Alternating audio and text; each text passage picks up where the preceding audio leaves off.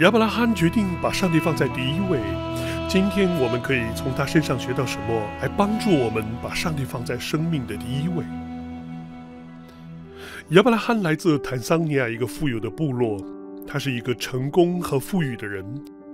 他的部落马赛人以其牛群闻名。对马赛人来说，没有什么比他们的牛更珍贵了。当他们部落中的一头公牛死去时，他们通常会比失去一个家庭成员哀哭得更加大声和长久。毕竟，一头公牛的价值可能超过一千美元。有一天，亚伯拉罕听到了关于耶稣的教义。那是他在收听基督复临安息日会全球广播。随着他了解的增多，他决定在生活中把上帝放在第一位。这时一切似乎都很好，直到后来他了解到十一奉献，对于他来说，这意味着他必须把一百头牛交给主。他的邻居和朋友们无法理解，甚至无法想象他心里想的是什么。他们认为亚伯拉罕已经疯了。然而，和他部落的常识相反，亚伯拉罕明白十一奉献的真正含义，并将一切都降服于上帝。在他归还了一百头牛作为十一后，他的牛群立即发生了难以想象的情况：他的牛开始产下双胞胎。奶牛通常一次只生一头小牛，但亚伯拉罕的奶牛突然同时产下两头小牛。亚伯拉罕曾献上一百头牛，现在他的牛比以前更多了。每个人都感到震惊。他的邻居们想和亚伯拉罕的牧师谈谈，去告诉他他们想归还十一。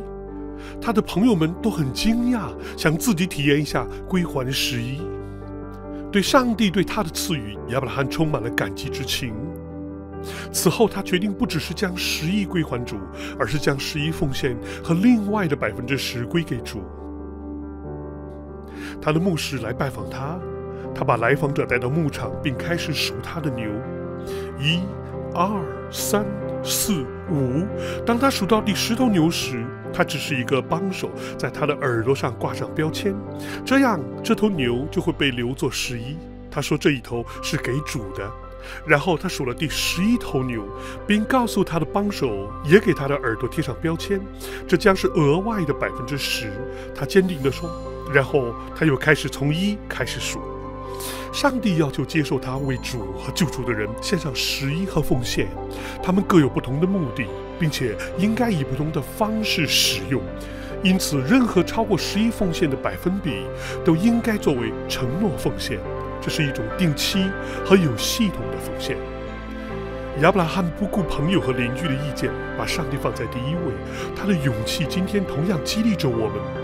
耶稣舍弃一切救赎了我们，他的爱促使我们把他的国放在生命第一位。当我们归还十一奉献和承诺奉献时，我们被敦促把上帝放在第一位。